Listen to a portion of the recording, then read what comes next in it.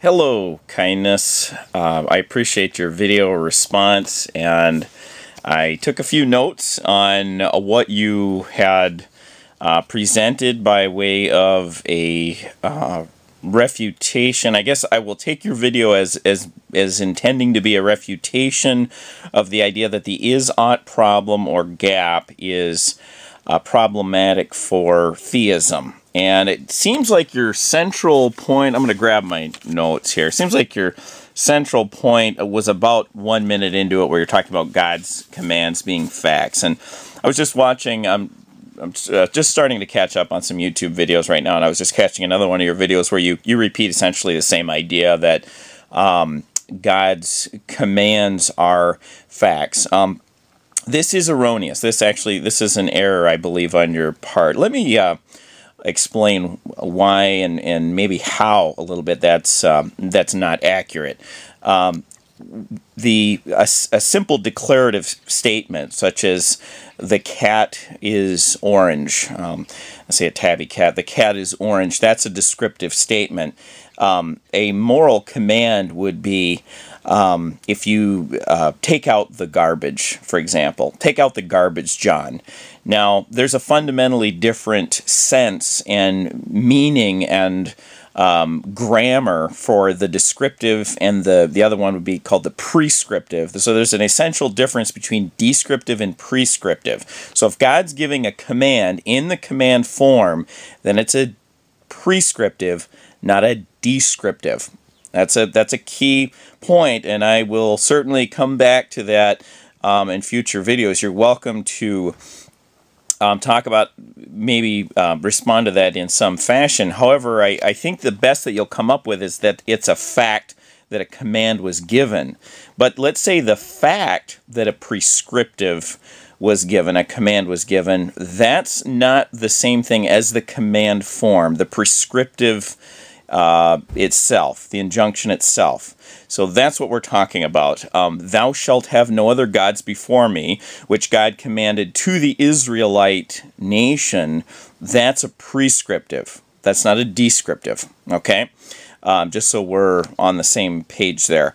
Um, let me uh, talk about, let's see, you also talked, and about two minutes into it, you talked about how both theists and atheists presuppose morality. Yeah, I, I would agree with that, um, essentially. I think maybe we would come to different conclusions um, about that. About two minutes and 45 minutes, excuse me, two minutes and 45 seconds into your video, you talk about God being contradictory. So now you're taking a little different strategy. You're adopting a different strategy, talking about how God um, himself is contradictory and how um, he one of the examples that you offered um, doesn't seem like a very um, doesn't seem like reasonable evidence in support of your uh, conclusion there.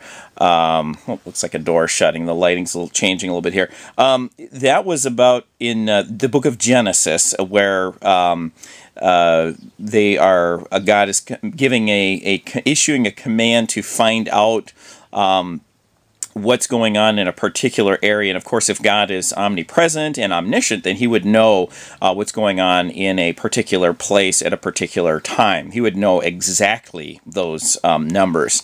Um, that is certainly not showing how God is contradictory. I, I, I think you would have to provide further argumentation uh, for that point if you're if, if that's the evidence that you're trying to use to establish that conclusion.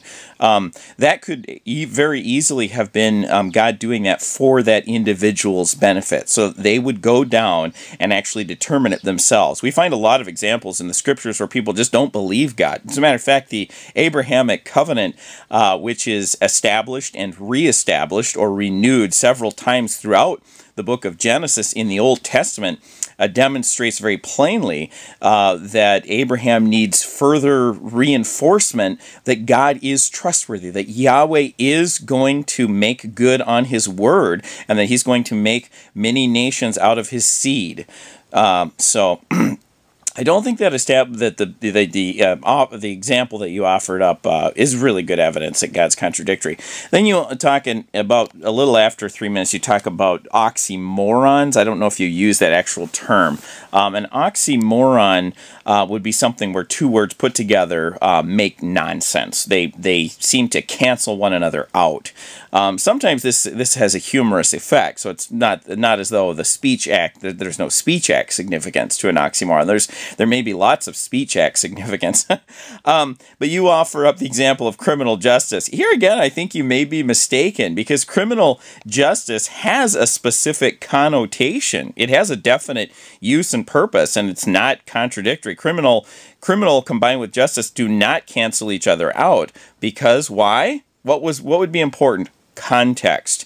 In the context where we would um, contrast civil justice with criminal justice or action. So there could be a civil action versus a criminal action. So in that sense, there's a specific type of justice, certain standards that would be used to prosecute criminals, as opposed to um, merely civil affairs um, that would not involve actual violations of a law or code.